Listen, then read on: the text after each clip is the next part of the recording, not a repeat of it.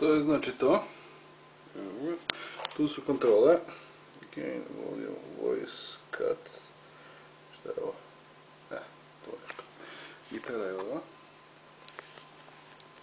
Strat. Pa da vidimo.